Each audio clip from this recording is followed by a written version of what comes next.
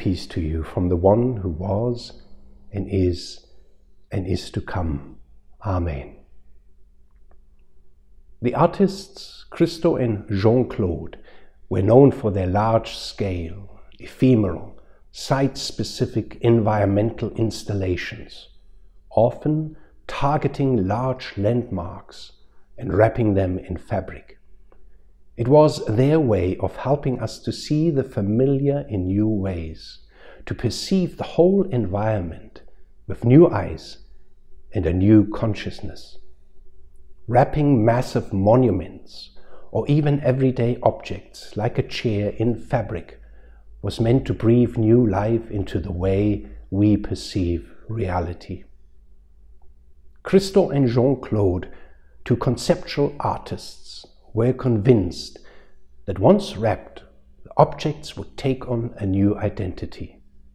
The incredible feat of transforming entire buildings and landscapes invited visitors to gain a new sense of place and space. And once unwrapped again, the effects of having concealed them even for a short time left the viewers with a lasting impression. They began to see the objects in a new way. It is a gift to reveal something by concealing it. I do want to argue that Jesus' parables about the kingdom of God had a very similar effect on his audience. They belong to the wisdom genre, the Jewish branch of the universal tradition of sacred poetry, stories, proverbs, riddles, and dialogues through which wisdom is conveyed. It is through his parables that Jesus conceals what we perceive to be real and true in order to reveal a deeper, more profound divine reality at work in this world and in our lives. By comparing the kingdom of God to everyday activities in the field, in the marketplace, or in people's homes, what seems obvious and clear becomes mysterious, imbued with a hidden and even subversive meaning. Concealing is revealing. The listener's eyes are opened to God's hidden yet transforming presence, revealing an alternative world of radical reversal and paradox. To compare God's kingdom to a woman who does not just play, place but hide yeast in the dough for the bread of tomorrow is to conceal what appears to be an ordinary activity in order to reveal God's commitment to change and newness. And when we ourselves become not just recipients, but also agents of such divine change, what is promised for the future begins to inform our present beliefs and actions. No wonder that we hear Jesus' first listeners respond with puzzlement and wonder. What is this he's teaching? No one has ever said anything like this before. Where did he get this? Where did he come from? The problem is that we are so used to those parables that very often they do no longer have the same concealing and revealing impact they used to have for those hearing them for the very first time. We don't get puzzled and confused by what we hear. And we tend to miss the exceptional skills and wisdom Jesus exhibits when sharing his insights and understanding of God's relationship to the world. To compare ordinary objects and activities to something as mysterious as God's vision of shalom on earth, as it is already in heaven, is to wrap them up, to conceal them, alienating and estranging them, in order to reveal a greater and deeper meaning. This is why I treasure the collection of 114 sayings in the Gospel of Thomas, which some scholars regard as belonging to the very first layer of sources we have of the Jesus tradition. You will find a more in depth discussion on the Gospel of Thomas and my reservations to discard it as a so called Gnostic Gospel in the postscript of the written sermon published online.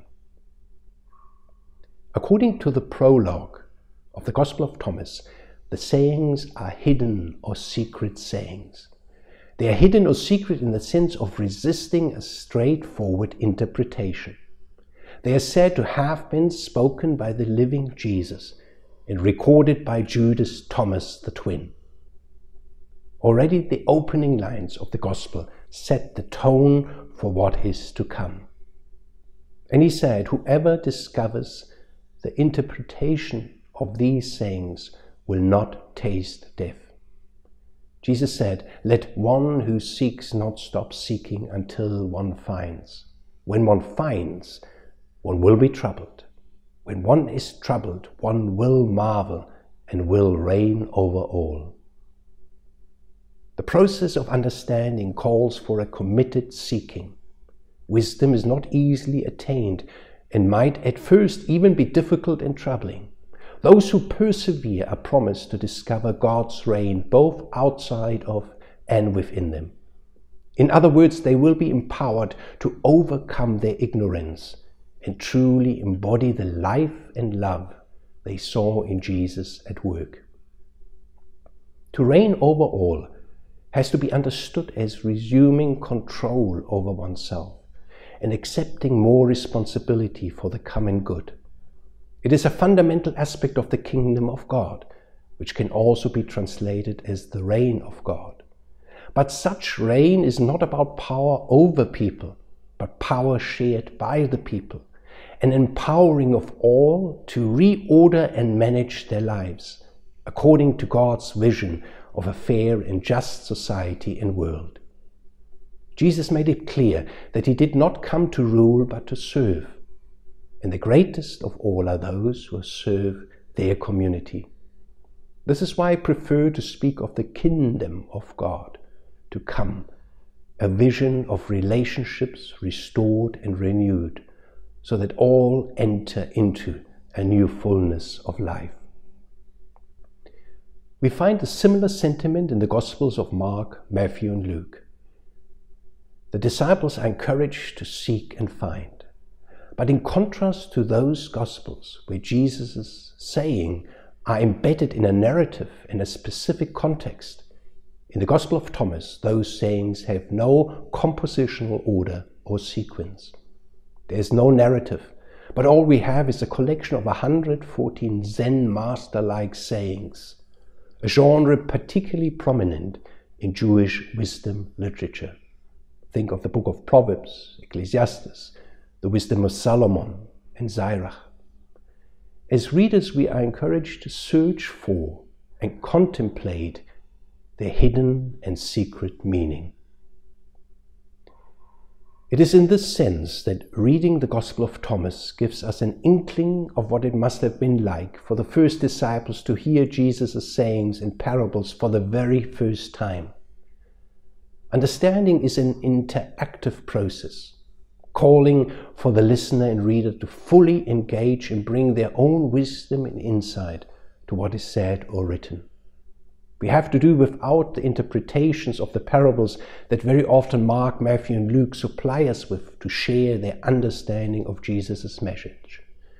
But the first disciples would have reacted and responded to Jesus' sayings and parables in the same way we do when reading the Gospel of Thomas. To be troubled is an important aspect of genuine understanding. I vividly remember a series of Bible studies we ran at Sean Ellinghauser's home, where we read through the Gospel of Thomas together.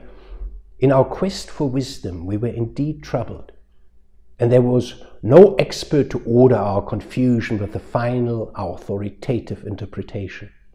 But we started to debate those sayings with the same excitement the first disciples must have felt when listening to Jesus' parables.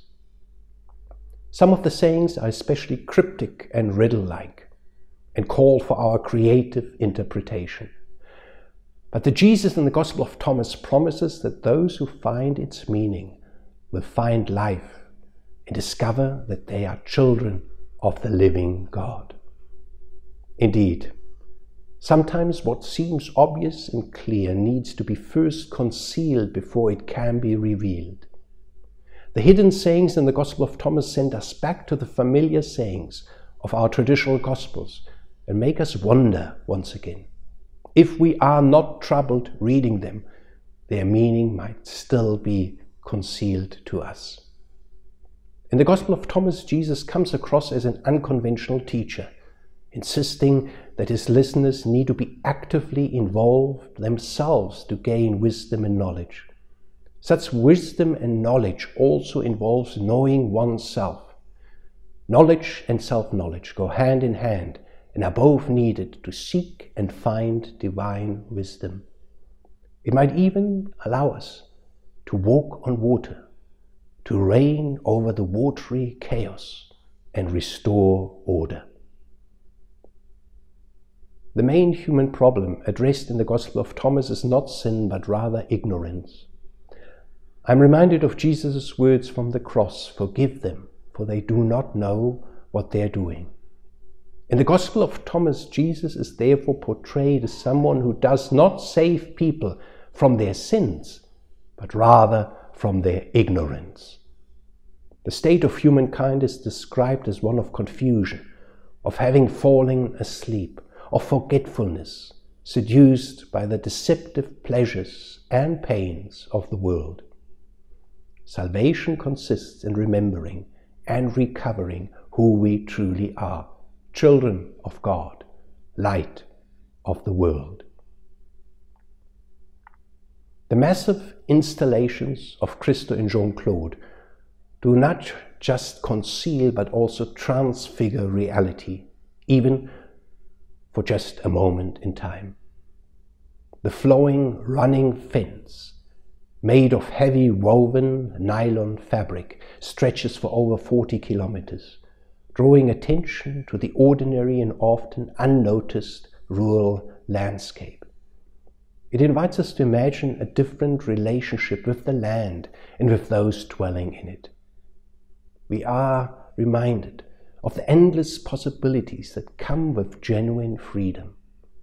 We are made to wonder about political and geographical boundaries, and how arbitrary and artificial the fences we build are.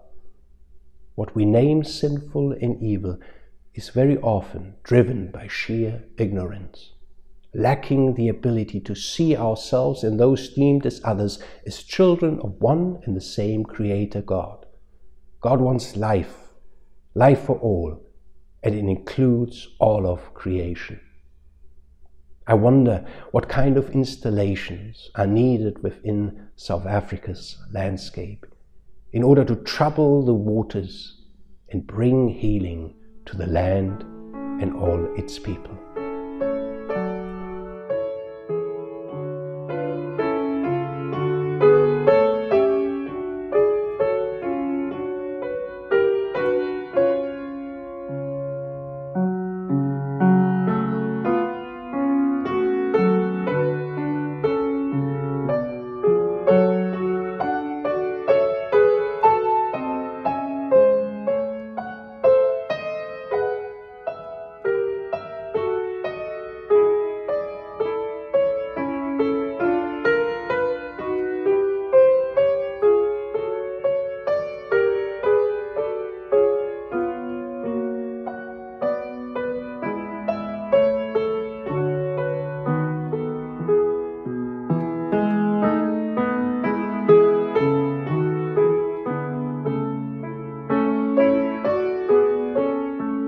Here's one of my favorite parables from the Gospel of Thomas. Jesus said, God's kingdom is like a woman who was carrying a jar full of meal.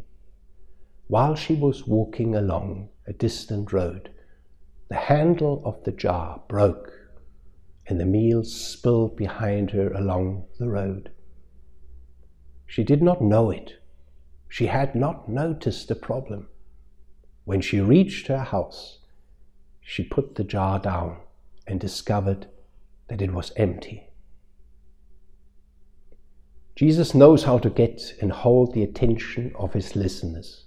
We are to grasp the mystery of the kingdom of God by considering the story of an unfortunate accident, a minor catastrophe. Flour is precious and essential. We see a woman carrying a jar of flour on her head. The sensitive part is where the handle connects with the jar. There's an unnoticed crack, or even a piece might have broken off.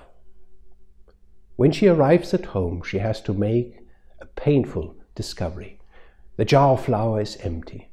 All along, she was unaware that the precious flour she bought trickled away on her long walk back home. The jar itself must have been so heavy that she didn't notice the steady loss of flour. She only becomes aware of her misfortune when it is too late. It is a startling ending.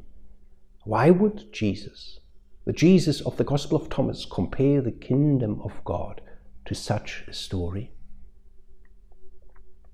The long journey, the hiddenness, and the sudden awakening all seem to express something of the kingdom of God.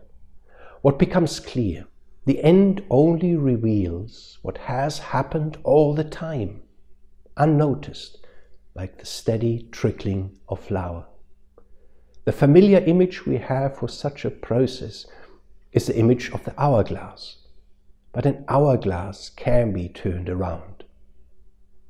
The parable offers us a more unsettling and complex example. And even though it describes a misfortune, it first of all is meant to convey something positive. The end will not reveal anything new, but only the completion or fulfillment of what is happening right now, all the time, unceasingly. Not unlike the parable of seeds sown and growing by themselves while the farmer is fast asleep. But one could argue that there is a darker side to the parable, which also evokes a certain degree of fear. What if the end does not present us with something radically new, but only with what is already happening now, though hidden and unnoticed? Then what will the final completion and fulfillment reveal? Will the final coming of God's kingdom not just reveal God's commitment to change and transformation, but also expose our failure to see and notice what was happening all along? Is the parable then also a warning, addressing our ignorance? Should we know better? And what fuels such ignorance? Lack of attention, distractedness, complacency, or outright callousness? As we enter the season of creation in our liturgical calendar, the parable should indeed trouble and unsettle us. Do we know that we do not know what we are doing? It is in this sense that the parable, in its ambiguity, offers both a message of hope and a stern warning. What gives us hope is that God is imagined to be present and active in this world, just like the ongoing trickling of flour, not unlike the parable of the yeast permeating the dough. These signs of hope are often not obvious and at times even hidden, but the end will reveal what has always been active and present the promised triumph of God's love. At the same time, we are being warned to be more attentive and awake to the potential catastrophe unfolding. Notice and see now, rather than experience a rude awakening at the end when it's too late. In other words, imagine yourself carrying your precious jar, the weight of the world, notice the cracks and address the brokenness before it is too late. The strength and vision for such response can come from the aspect of hope surfacing in the parable. The trickling flour does not only speak to our failure, but also to God's ongoing, though hidden presence. We are not alone in this. See and notice the small beginnings. Watch the hidden seeds waiting to sprout. Notice the hidden yeast permeating the dough. Allow such attention to nurture your devotion. Take heart from those who expose our ignorance and have entered the kingdom of God with a strong commitment to do what is right and just. Be inspired by those who allow the future to shape their thoughts and actions in the here and now. I wonder, what do we find easier to see and notice, the good or the bad? Our investigative journalists do an excellent job in exposing the corruption and mismanagement, in parts responsible for our present economic and ecological crisis. There is no end to such bad but important news that holds those in power accountable. Such reporting helps us to see where God's kingdom is definitely not coming and clearly absent. It might in fact be easier for us to identify where God's kingdom is absent than to name and remember the good news of where it is already active and effective. And the parable seems to suggest that it is really only at the end that we will truly see, notice, and recognize the ongoing and unceasing trickle of both despair and hope. How does one hold those two aspects of the parable together? There's an element of despair and an element of hope. Will things only get worse before we experience the ultimate breakthrough of God's love?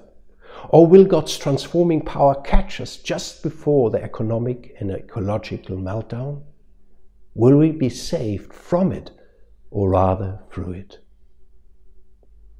Whatever the case is, the parable is clear in calling us to not wait until we have come to the end of the road. Rather stop and pause now and notice the cracks. We are known to know better in hindsight. This is our dilemma in human tragedy.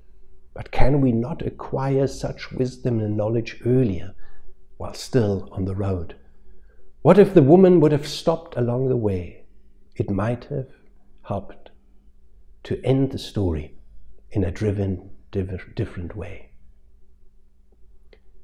The philosopher Søren Kierkegaard describes our experiences of holding on to faith with the metaphor of rowing. We are in the boat together, rowing with our back to the finishing line, and we can only see what we have left behind us. We don't know how close we are to the end. All we can do is to keep rowing. What we know is that we are rowing towards a final revelation. Time is not in our hands, but the timing is. And so we put all our efforts into rowing together, keeping in sync with each other, fully dedicated to the present moment and encouraging each other. And God always got our back, turned towards the finishing line. Or have we already arrived at the end of the road, having to confess our moral bankruptcy? We don't know what the woman did after her fateful discovery. It might mark the beginning of a whole new drama. It is up to us to fill the blanks in the story. But when I think of cracks, I always have to think of Leonard Cohen's famous chorus in his anthem Ring the bells that still can ring. Forget your perfect offering. There's a crack, a crack in everything. That's how the light gets in. Even the cracks do not just speak to our despair, but also to the hope of new light coming in through the very cracks we mourn and lament. Such is the wisdom that can save us. Let the light come in. Amen. As you leave from here. May the blessing of this light be on you.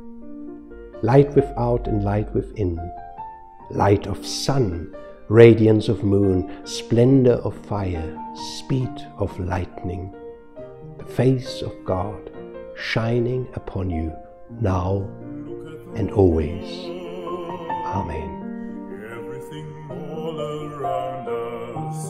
Look at the world and marvel every day. Look at the world. So many joys and wonders.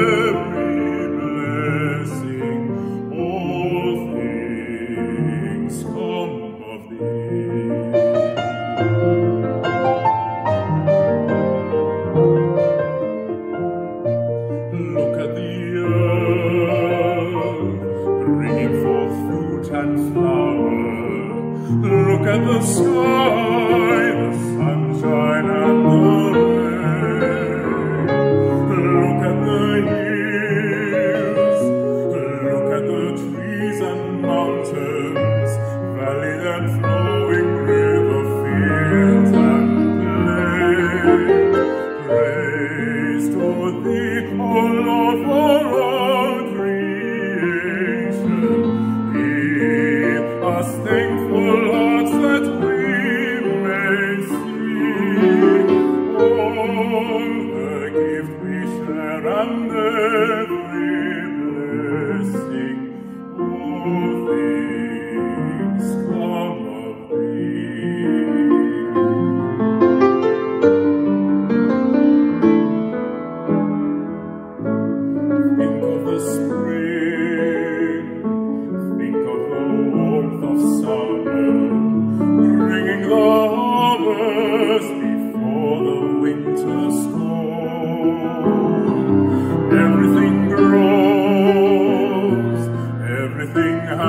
season till it is gathered